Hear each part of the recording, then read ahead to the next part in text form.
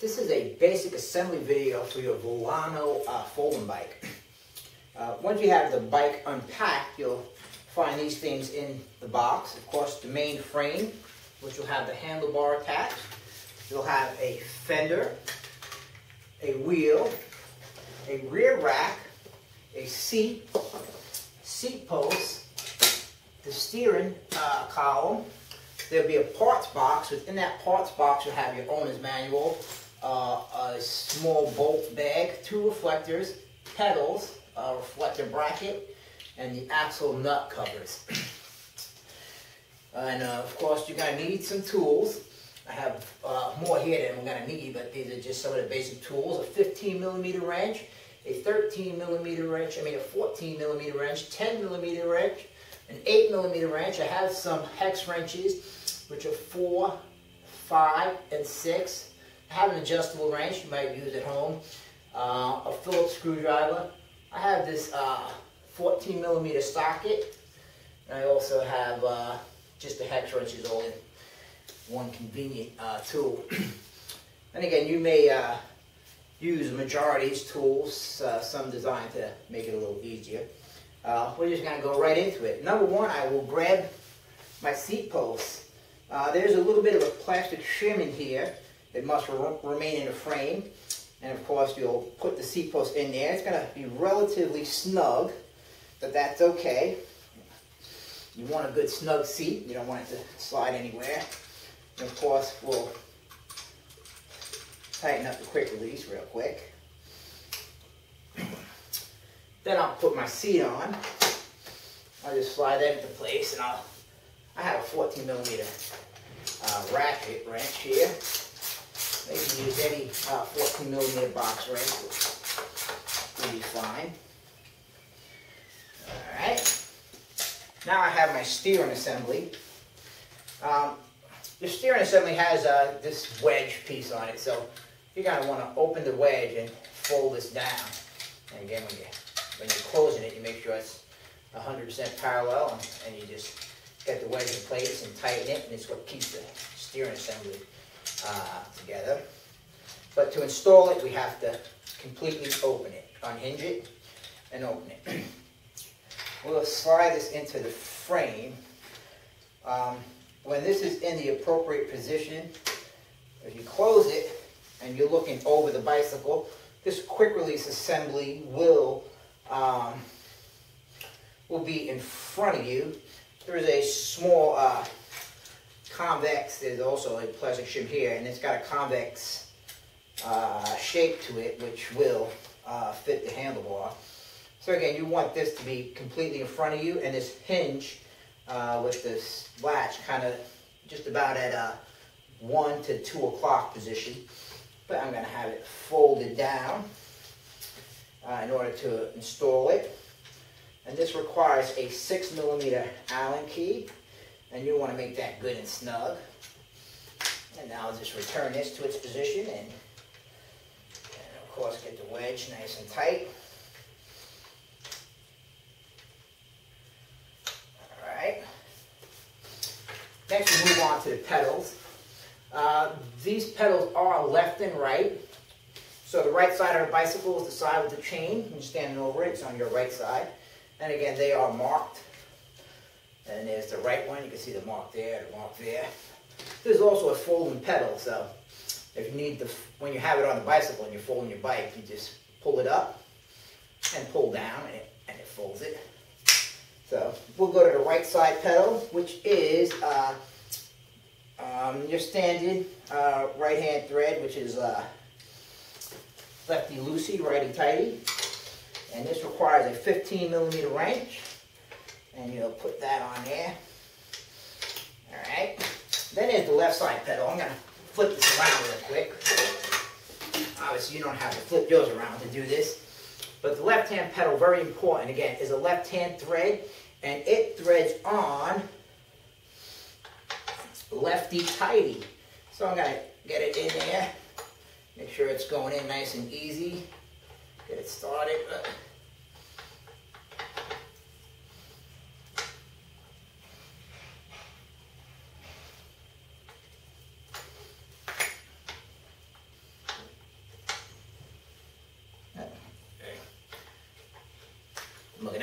Just was turning the wrong way myself. So again, it should thread in nice and easy. And there you go. So remember, this is a reverse thread. And you'll just thread these down all the way. You always want your pedals to be nice and snug once you have them threaded down. And get them all the way and just give it that one last snug. Let me uh, turn the bike around again this way. All.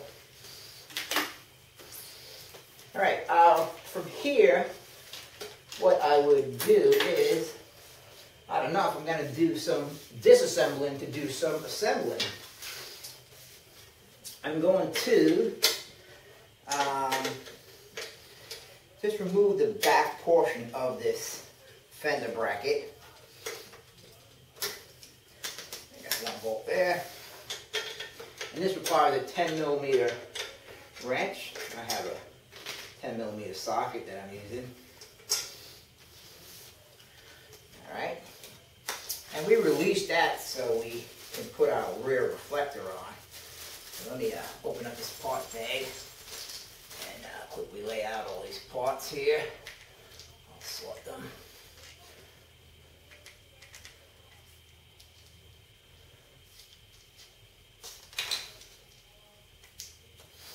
Alright, so we have a rear reflector and there is a very small um, nut, an 8 millimeter nut, and a little lock washer. So uh, once you put that in there, by disconnecting the fender, it gives us the opportunity to lift this. And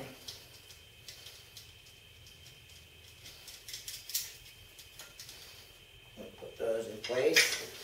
I'll grab my uh, 8 millimeter wrench. And just snug that up.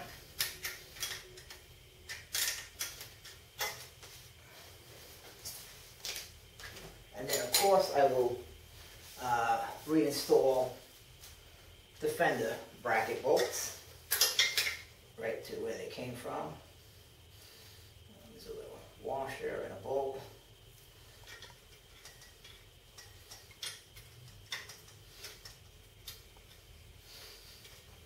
And once it feels as though it's threading in nice and smooth, move to the other side.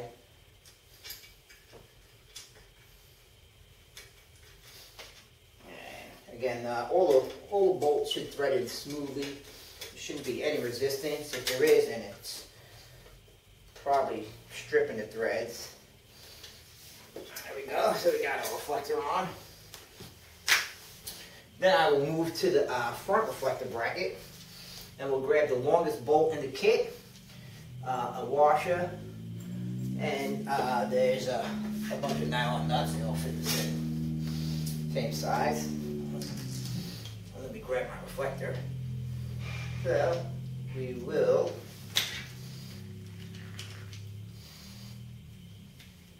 install the reflector on the bracket, and there is one odd kind of screw bolt thing here. Bolt this in here. You can use a Phillips screwdriver or an 8 millimeter wrench. Then you're going to have your reflector bracket. You want the reflector pointed outwards. This has a little bit of an L shape here. This long bolt will go through there. We will slide this. Oh, wait. We will also be installing a fender at the same point in time.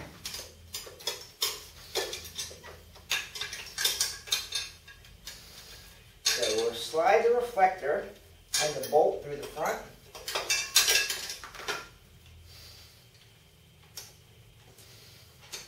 And it should come out the back side of the fork.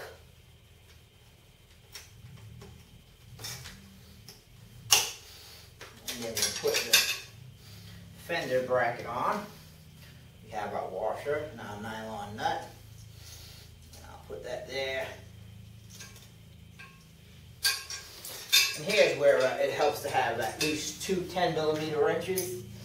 I have my 10 millimeter socket and the 10 millimeter ratcheting wrench. I will put the socket there a wrench on the back side.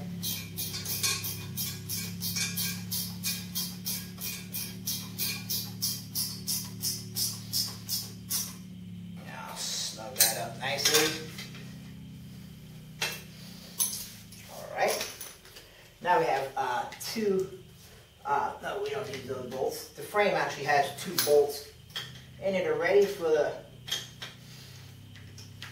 for the fender brace. So I will loosen these up.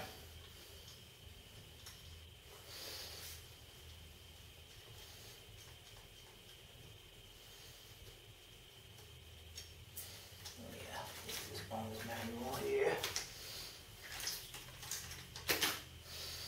Just so you can see it, and then we'll just, uh, this brace moves around, so you just position it there, it through.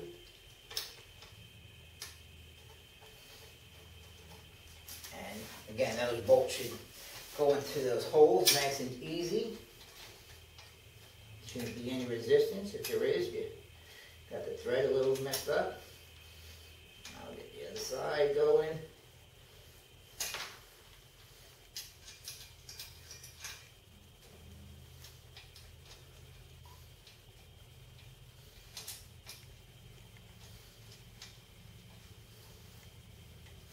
Now grab my 10 millimeter socket, or you can use your wrench, whichever you prefer. And snug these things up.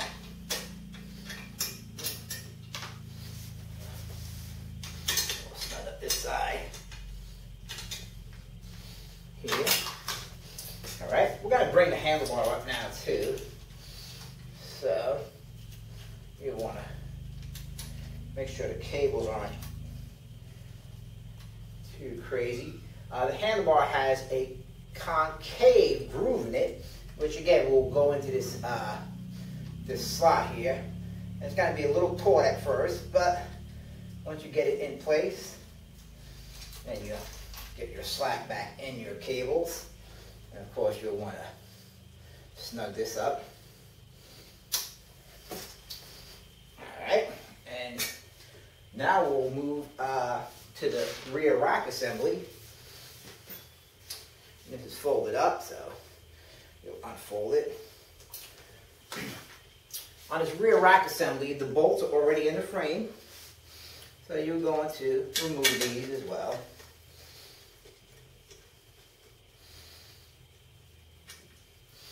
And there is a, a load of washers on there.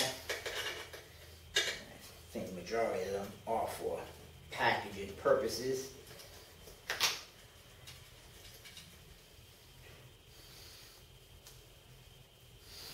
Alright, and also we have uh, two bolts left over from our parts bag, and two nuts and two washers. And these are also going to be for our rear rack assembly. So, um, I will grab this bolt. I will leave only one washer on. Again, there's an excessive amount which is uh, for the packaging, just to, so the nut isn't put on there too tight.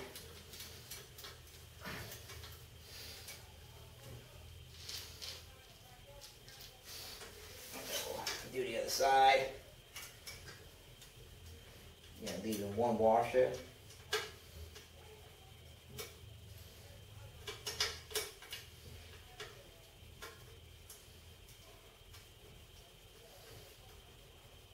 And the bolt.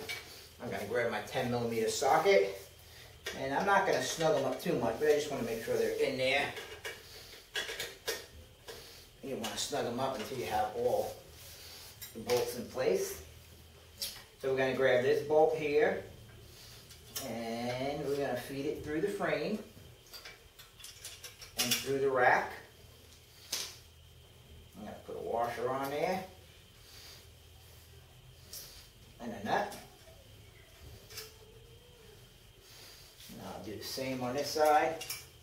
Feed through the frame into the rack. One washer, one nut. And this is a, another case where it helps to have at least two 10 millimeter wrenches. I have a, uh, a socket. So I will uh, put my socket here. And fortunately I have a ratcheting wrench, which makes it slightly easier. But if you don't have a ratcheting wrench, you can still accomplish this by just turning and then flipping and turning. It's just slightly more cumbersome, but you can do it. And we'll snug this one up.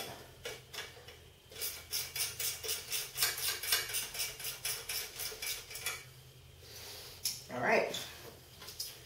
So uh, now we have the front wheel left. And uh, this is going to require a 15 millimeter wrench. And I'm going to also grab my 10 millimeter socket. So um, you'll loosen up these bolts here. You're going to want to slide these onto the frame, but of course once you have the wheel on there, the bike becomes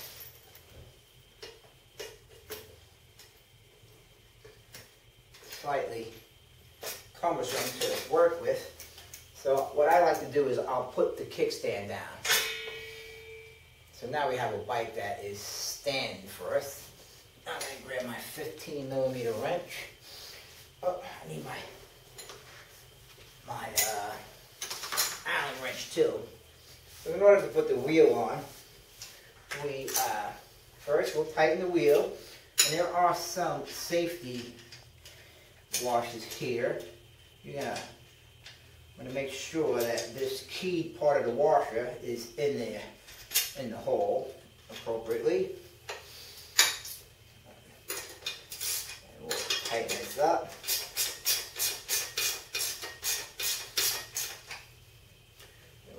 Do the other side.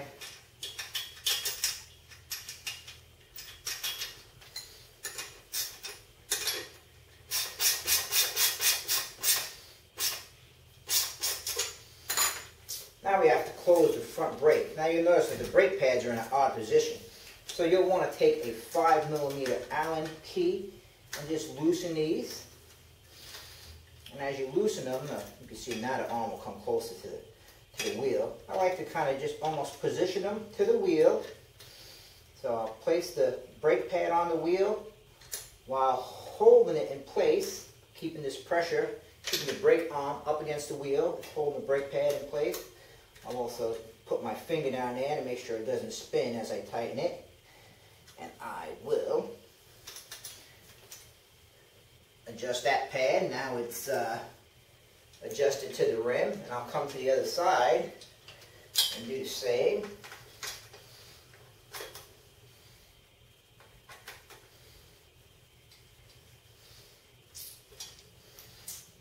And now we can hook up our front brake. And the front brake, uh, on here, this thing has a little, I don't know if you can see it, a little uh, uh, keyway sort of, which will allow the cable to slide through. Once the cable slides through, um, the other part of the brake, which is called a brake noodle, will seat on the brake, and the brake is connected. So again, this brake will still need some adjusting, but we have our basic assembly done. You know, you'll want to position everything and snug it up. You'll go back and position the brake levers, snug them up. Reposition this one here and snug it up.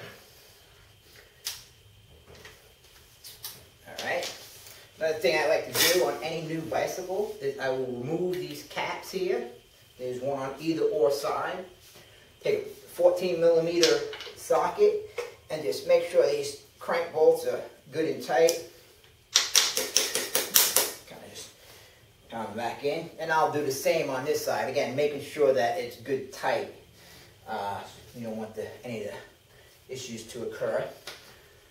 And of course, now we have our little safety caps here, which will just go on the end of all the axle nuts. And there's four of them. Two for the rear.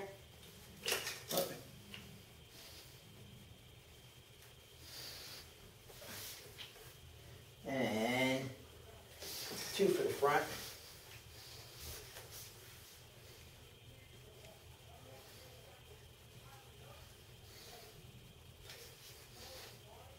Yeah, they have a little resistance because they are new, but there you go. So, uh, again, now we pretty much have our bike assembled.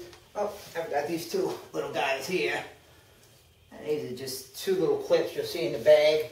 And you kind of just put them almost anywhere. They're designed to keep the cables somewhat neater. They aren't necessarily important, but again, it keeps everything kind of together. It was in the uh, parts box. So again, now we have the bike assembled. Uh, you'll probably still need uh, the adjustments to the gears, as well as the brakes, all the minor adjustments that are included in a bicycle tune-up. But I'm going to show you how this latch works real quick. So you'll open this. Once you open it, you rotate it out 90 degrees. Uh, this still will not allow the bike to fold. In order for the bike to fold, you now have to pull the latch up as well. So it kind of has two locking mechanisms. One is here, and the other one is a pin that runs down through here. So in order to disengage the pin, you pull this up, and that allows the bike to fold. Uh, of course, when it's time to close the other way, you it just snaps into place. And you'll pull this over here, and then push down a quick release. Make sure it's good and snug and has appropriate amount of, of tension. And there you have it, your Vilano folding bike.